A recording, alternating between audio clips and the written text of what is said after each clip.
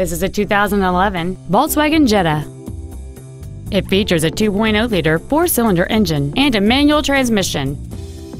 Features include a locking differential, a low tire pressure indicator, a rear window defroster, 12-volt power outlets, a stability control system, multi-reflector halogen headlights, an anti-lock braking system, side curtain airbags, and this vehicle has fewer than 25,000 miles on the odometer.